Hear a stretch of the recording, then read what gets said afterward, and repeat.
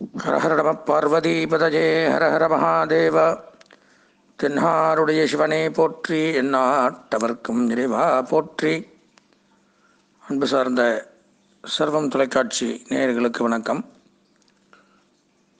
இப்போது நம்ம எதை பற்றி பேச போகிறோம் அப்படின்னா இந்த சந்திர கிரகணம் அப்படின்னு ஒன்று இருக்குது இந்த சந்திர கிரகணம் அப்படின்னா எப்போ வருதுன்னு பார்த்தோம்னா ஐந்து ஏழு ரெண்டாயிரத்தி இருபது வரைக்கும் சம்பவிக்கிறது ஆனால் நம்ம இந்தியாவிலேயோ தமிழ்நாட்டிலேயோ அது தெரியாது. அதனால் நம்ம யாரும் அதுக்கு பயப்பட வேண்டியதில்லை. இது எதுக்காக சொல்கிறேன்னா வெளிநாட்டு நேயர்கள் தெரியக்கூடிய எங்கள் ஊரில் தெரியுமா அப்படின்னு கேட்குறவங்க நிறைய பேர் கேட்குறாங்க அந்தந்த ஊர் பஞ்சாங்கப்படி கால நேரப்படி காலண்டர் படி அங்கே தெரியும்னு போட்டிருந்தால் இரவு நேரத்தில் நீங்கள் இதை அனுஷ்டிக்கணும். அந்த நேரத்தில் எதுவும் ஆகாரங்கள் செய்யக்கூடாது. அந்த நேரத்தில் சாப்பாடு சாப்பிடக்கூடாது தண்ணி குடிக்கக்கூடாது. முடிஞ்ச அளவு இறை நாமம் இறைவனுடைய திருநாமங்களை ஜெபம் பண்ணிட்டு வரணும். கர்ப்பிணி பெண்கள் எல்லாம் வந்து கர்ப்பிணி பெண்கள் வெளியில் வரக்கூடாது அந்த இதை பார்க்கக்கூடாது நகம் கிடைக்கக்கூடாது இப்படின்லாம் சொல்லுவாங்க. தூங்கக்கூடாது. செய்ய வேண்டியவை அப்படின்னு பார்த்தோம்னால் நம்ம அனைத்து ஆகார பண்டங்கள் தண்ணி எண்ணெய் என்னென்ன இருக்கோ அதில் எல்லாம் தர்பை புல்லை போட்டு வைக்கணும்.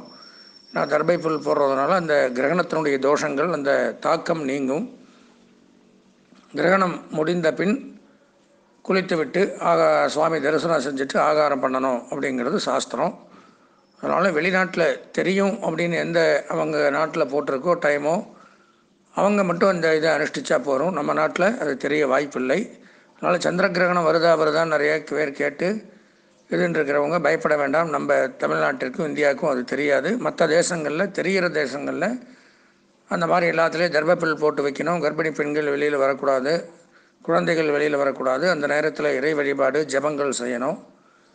இதெல்லாம் செய்யணும். செய்யக்கூடாதவைன்னு எடுத்துனா தூங்கக்கூடாது ஆகாரம் பண்ணக்கூடாது எதுவும். வெளியில் வராமல் இருக்கணும். இந்த மாதிரிலாம் இருக்குது அதனால் தெரிகிற தேசங்களில் இதை கடைபிடிக்கணும். மேலும் ஏதாவது விவரங்கள் வேணும்னா என்னுடைய தொலைபேசி எண்கள் கொடுக்கப்பட்டிருக்கும். அதில் நீங்கள் தொடர்பு கொண்டு என்னை தொடர்பு கொண்டு தெரிஞ்சுக்கலாம்.